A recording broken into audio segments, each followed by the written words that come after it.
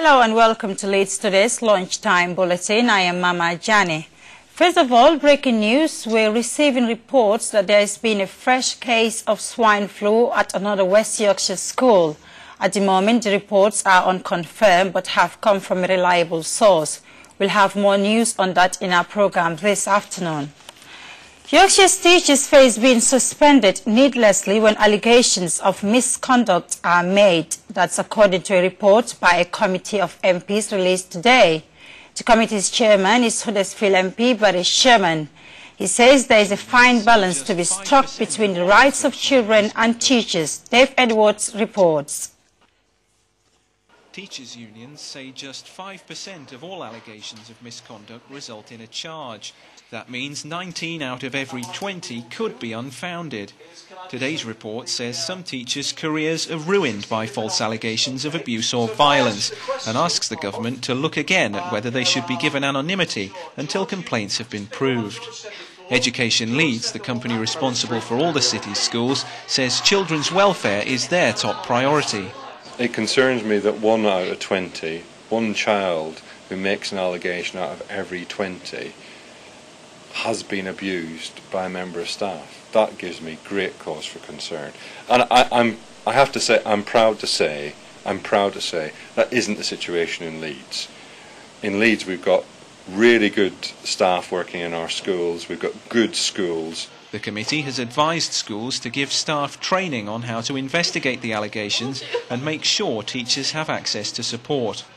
The government says it'll consider the report carefully. Five incidents of sexual harassment of young girls have been reported in a town in Yorkshire. Helen Burke is at the scene. Females here in Bramley are living in fear as two men in a white van prowl the streets. Five girls aged between 11 and 21 have all been approached by the men in the last three days. One of the incidents happened here on Swinnow Road on Sunday. The men have made sexually explicit suggestions to all the girls and tried to get them into the van, but luckily they all managed to escape. The men have been described as white males, one aged mid-30s and the other mid-40s. Although police have not yet managed to arrest anyone in connection with the incidents, they are warning young females in the area to be extra vigilant and avoid going out at night alone. This is Helen Burke from Leeds Today, here in Bramley. Yorkshire has been criticised today over its diagnosing of the virus hepatitis C. New research has shown the number of cases in the region is growing faster than anywhere else in England. Hepatitis C is a blood-borne virus that predominantly infects cells of the liver where it can cause inflammation and significant damage. Now, every day it seems we hear a different story about swine flu. It's spreading, it's getting worse, it's getting better. And so many different sources of information, it can be quite hard to understand exactly how worried we should be. The current hype appears to have sent people in a bit of a panic, which isn't being helped by today's new criticisms of the government's handling of the pandemic.